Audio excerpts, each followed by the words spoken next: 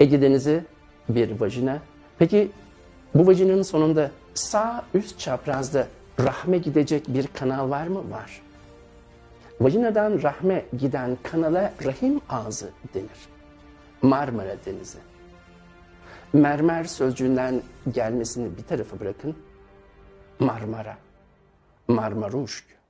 Bu larva demek. Kurbağa yavrusu da olur, her tür yavru da olur. Ve Marmara insan yavrularının 9 ay anne karnında yaşadığı yerdir.